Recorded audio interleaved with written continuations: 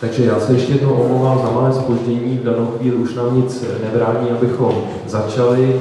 Čekali jsme na čtvrtou účastnici prvního semináře, či chcete-li panelu, ta dorazí v průběhu diskuze, takže o její příspěvek nepřijdete.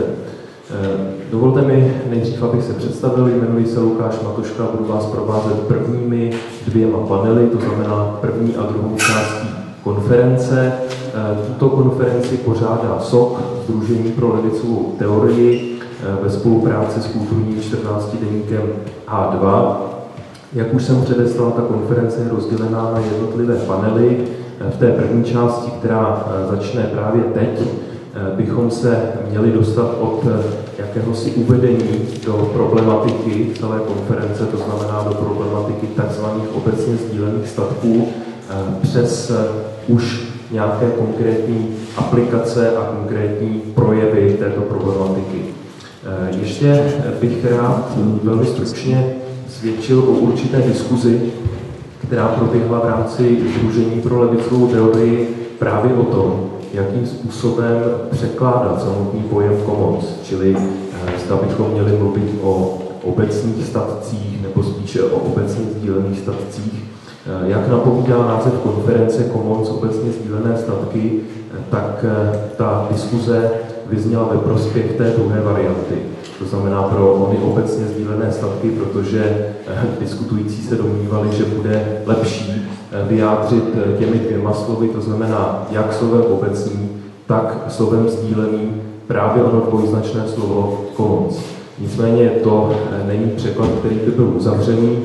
Protiargument, který si pamatuji, zněl, že je to vlastně zavádění nového pojmu, protože o obecně sdílených statcích se příliš nemluví, čili určitě potom i v průběhu diskuze, která bude otevřena po příspěvcích panelistů a panelistek, bude prostor pro vaše vlastní návrhy, jakým způsobem právě onen pojem commons překládat. Teď už je mojí milou povinností představit řečnici a řečníky prvního panelu.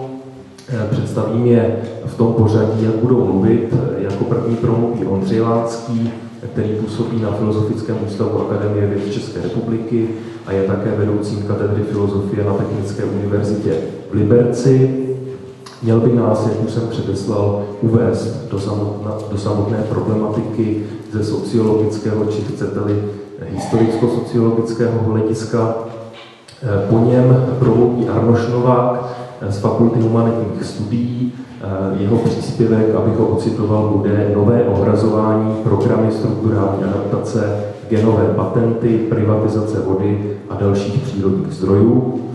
Po něm vystoupí Michaela Pixová, kterou určitě znáte také z jejich aktivit v rámci nevládní organizace Pragoč, která mapuje celou řadu pražských kaus a nabádá Pražany a Pražanky, aby se v těchto kauzách sami nějakým způsobem angažovali.